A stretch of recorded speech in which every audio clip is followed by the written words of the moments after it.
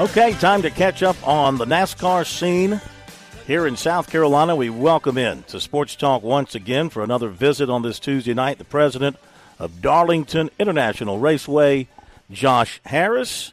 And good evening, sir. How are you? Uh, doing good. Been out in Charleston today doing a little media and uh, heading back towards Darlington. Well, it's getting to be that time. We'll get to Darlington in just a moment, but let's recap yesterday at Michigan.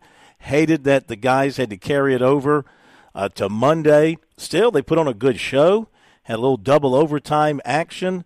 What'd you think of the racing there at Michigan and some of the things that NASCAR brought to that track? Well, I, I, thought it was unfortunate. You know, had to had to push to Monday. Um, but that's you know we deal with weather sometimes, and, and that's the way it goes. But I, I thought you know they had a great day weather-wise on Monday. The the racing was really good. I think you saw uh, just how loose uh, and, and tough that track can be with you know a guy like Kyle Larson just kind of running there on a restart and spinning out. Um, you know, then you got Tyler Reddick kind of going along there, dominating towards the end. You got a late race caution, uh, set up overtime, a little bit of excitement with uh, another caution. Uh, certainly changed the finishing order there, but all in all, uh, I thought it was a good good race at Michigan. Um, again, hate it for those fans up there that weren't able to come back on Monday, but uh, set this up for the last two regular season races uh, coming up first at Daytona and then Darlington. Yeah, going to have some drama because you look at the number 16 spot, Ross Chastain is there, but he's only uh, a point above the cut line with Bubba Wallace uh, right there beneath a uh, point back. And then Kyle Busch is 93 points back. Chase Briscoe, 115. So got some guys there that are going to have to get a win to get in. Um, it's going to be pretty exciting the next two weeks. And really, what do you think when you look at Daytona, that type of racing, and then we come to Darlington and that type of racing – how do you think these contenders trying to get into the playoffs are going to deal with the, the two different styles of racing they'll find at these last two tracks in the regular season? Well, I, I think some of those guys you mentioned there, right around the cut line, have have had uh, some success at, at both of the, the upcoming tracks, both Daytona and Darlington. You know, you think of a, a guy like Kyle Busch um, has won so many races at the Cup level, and and pretty much every track we've run at, and and the last two weeks coming out of the, the little Olympic break, uh, RCR has shown a little more speed. So, you know, obviously with Austin Dillon at Richmond um, prior to the ending there uh, was was really fast, and then I think Kyle had a good run yesterday there at Michigan. Just came up a couple of spots short, but he he led portion of that race. So I think I think Kyle's one to keep your eye on. I, I would say maybe try to find his way around the first two stages in Daytona and then put himself in position there uh, for that final stage to go forward. And he's certainly somebody, if they've got the speed, he knows how to get around Darlington. I think Ross Chastain uh, has won, you know, he won in the truck series earlier this year at Darlington. So he's a guy to keep an eye on. Uh, you got Chris Buescher right there around the cut line. Uh, so I, I think it's going to set up for if we don't get a surprise winner out from outside of the top 16, 17 guys, um, it's going to set up for a compelling points battle. And if if someone jumps up there that's that's not around the cut line on the on the point side and and takes a win at Daytona, um, and it's going to really set up for an interesting uh, Darlington finish with three or four guys there, Bubba Wallace included, and Chris Buescher right there around the, the cut line on the point side. So, what advice do you have to the fans who'll be in the stands at Darlington and, also watching on television, but really more those in the stands?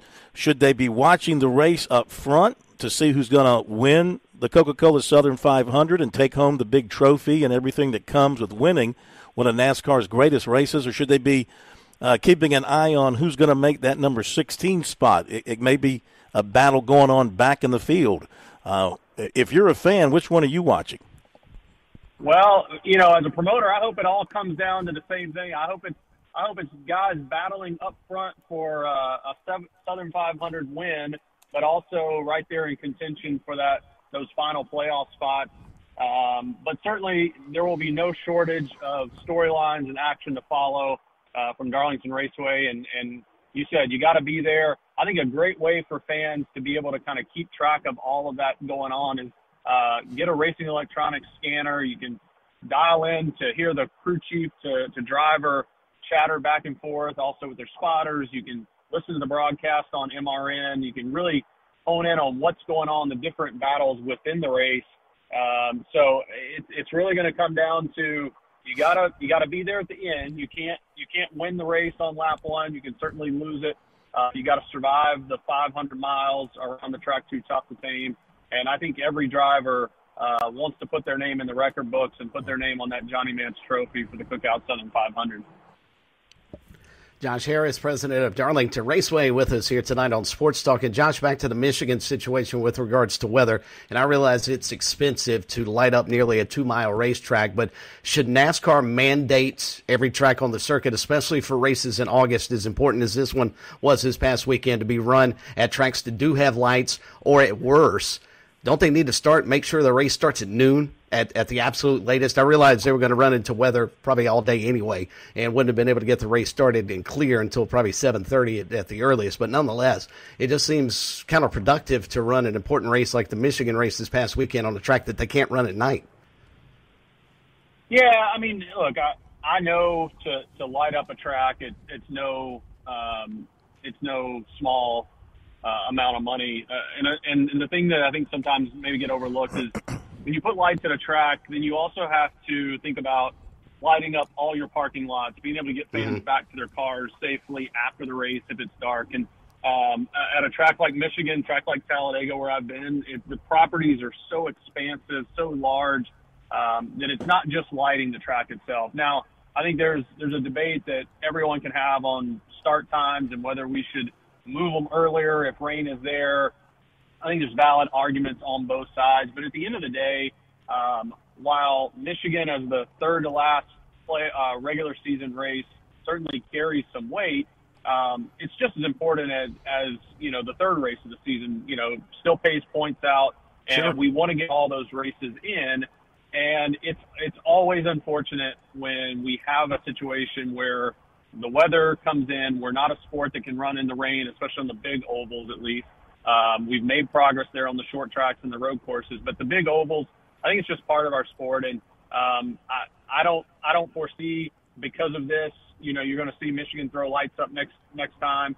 Um, and but it is two years in a row where we've had to move the race mm-hmm. to, to finish on a Monday because of the weather situation. So maybe that goes into the the factor with with TV and NASCAR and setting the the start times, uh, you know, in the future, or giving a little more flexibility to moving it earlier uh, when they know some rain is coming.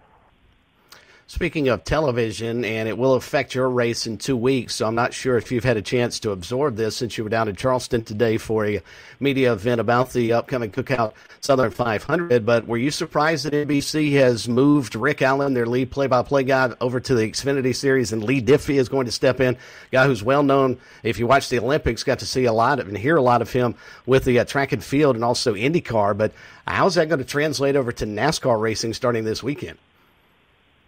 Well, I you know I've had the opportunity to hear Leigh on a number of different broadcasts in the motorsports world. Not only IndyCar, as you mentioned, he's called uh, the Rolex 24 Daytona, and he's also been a, a guest in the booth in NBC's coverage on some of the road courses over the last couple of years. And I would say, um, you know, Rick Allen does a phenomenal job, and this is you know no knock on Rick at all, but I think Leigh brings a, a different excitement level um, to his call of the race and the broadcast. And certainly NBC has gone through some changes this year. You know, Dale Jr. not coming back uh, to be part of their broadcast team. Uh, so I don't know the ins and outs of what went into the decision, um, but glad to glad that Rick's going to stay on uh, the the Xfinity Series broadcast. And while I, I won't have a chance to to watch our uh, NBC broadcast from right. Darlington live, uh, I'll probably go back and and record it and, and watch it after the fact a couple of days later. Uh, but I'm I'm I'm curious to see how it plays out. I, like I said, I think he's got a lot of expertise and he'll bring a different style to the broadcast, and hopefully it's something that the the viewers at home will enjoy. But I will say, if you're in the Darlington area, you're in the Pee Dee region, you got to get out to the track and and be there for the race. You can record it and watch it back later. Absolutely. Our first chance to talk to you since the decision came down, I think it was on Wednesday.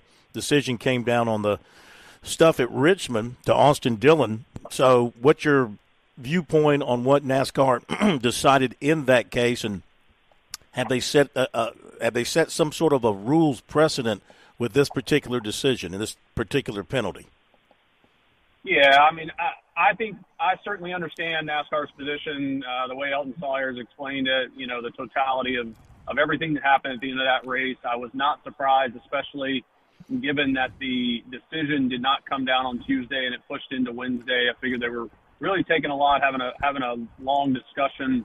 Um, and and that's the thing. There, there's not just one person making this call. There's a number of uh, stakeholders that have input on the NASCAR side, on the competition side, to to come to a decision. I think ultimately they wanted to be able to say that there is a line you can cross um, that goes beyond hard racing to um, decide the outcome of a race, and and ultimately felt like um, Austin may have crossed that line. Now, certainly they didn't take the win away, but um, I think that playoff eligibility was was probably a higher priority or goal for that number three team in going after that win. Certainly, everybody wants to take the checkered flag and the purse and everything that comes along with it. But uh, the the playoff spot, I think, was the real big carrot there for them, and to have that taken away um, probably was the most impactful penalty that NASCAR could have assessed in that situation, given that they felt like it went over the line. So I wasn't surprised. Um, I would say if if you if you make me have to decide, I'm probably siding with NASCAR a little on this one. Uh, we don't want to get into a situation where at the end of races, you know, it's just kind of an all-out brawl. Um, hmm. hard racing, contact's part of our sport. I don't think anybody's saying that that needs to go away, but um, we we certainly don't want um, you know guys just taking each other out with no repercussions or or really racing down you know hard racing. Is that right rear hook? I guess they call it. I think that's how they refer to it. Right rear hook. Is that just completely a, a no-no um, in, in NASCAR's view, and, and maybe amongst the drivers as well? And maybe they were, uh, you know, a, little bit surprised that he made that maneuver at that particular time. Though, as we talked about last week, he had nothing to lose. He's trying to get in the playoffs. But that particular way of taking a driver out, may be especially dangerous, something that is an absolute no-no. Yeah, I think we've seen, you know, over the last couple of years, especially just with the um, with this new next gen car, you know, guys when they when you get into the right rear of a car and and turn them, the driver really has nothing that they can do to con- control that. Or um, and and I think they've seen some of the harder hits, uh, both from the driver standpoint and the car standpoint in those situations. So um, I think that you know very likely went into the decision making as well. I think, you know, with the appeal process still uh, to play out, and I think the appeal will be heard tomorrow. I don't think NASCAR wanted to put all their cards on the table, so to speak, for what went into the decision. But uh, Elton's comments last week, I think, gave us all a pretty good insight into um, it may not have been just one part of it, uh, but but everything that went in from when Austin went down into turn three until he exited turn four and crossed the start finish line um, everything that happened kind of went into that decision. And last thing, we'll let you go. The very scary ride for Corey LaJoie. Do you think NASCAR is taking a long look at that this week, trying to understand and figure out why that car got airborne? But then again, testament to the safety and soundness of those cars for him to slide on his hood for as long as he did and then flip over once he hit the grass. I mean, that was a pretty wild, dangerous ride. Yeah, yeah. I mean, I don't think any of us want to ever see a car get upside down, um, but it, it it is part of racing. It, it's an unfortunate part of racing, and NASCAR and the teams and the manufacturers have done everything they can to put safety measures in place with the roof flaps and uh, to to try and mitigate that, uh, you know, as much as possible. But we still see it from time to time. Uh, but kudos for all the safety measures. Corey was able to to walk away from that, and and I, I'm pretty sure they they took his car back to the R&D center. Just you know, they'll study it. They'll try to see if there was something that factored in. Uh, there was a there was a number of reports that you know they faced some pretty high headwinds going down the back mm. straightaway, so that could have contributed. Um, but either way, you know, um, I, I don't think there will be an overreaction to this, but NASCAR will certainly study it, look into it, and see if there's anything else they can do on the cars that you know try to mitigate that in the future. All right, let's hope so because that was a hold your breath moment there. Um, all the tickets, the last ticket been sold, or you still got a couple left? We still got a couple left, so um, it's winding down. You got about ten days away here, eleven days. We open up the campgrounds a week from today. Um, wow. Looking forward to it. Um, it it's going to set off a week of activities from Wednesday, Thursday, Friday. Uh, we hit the track on Saturday and Sunday, and uh, I can't wait for the 75th run into the Cookout Southern 500, crown a regular season champion, and uh, set the final playoff field. So get your tickets, darlingtonraceway.com, or give us a call at 877 459 race. Josh, we appreciate you. Looking forward to seeing you. Have a great rest of your week.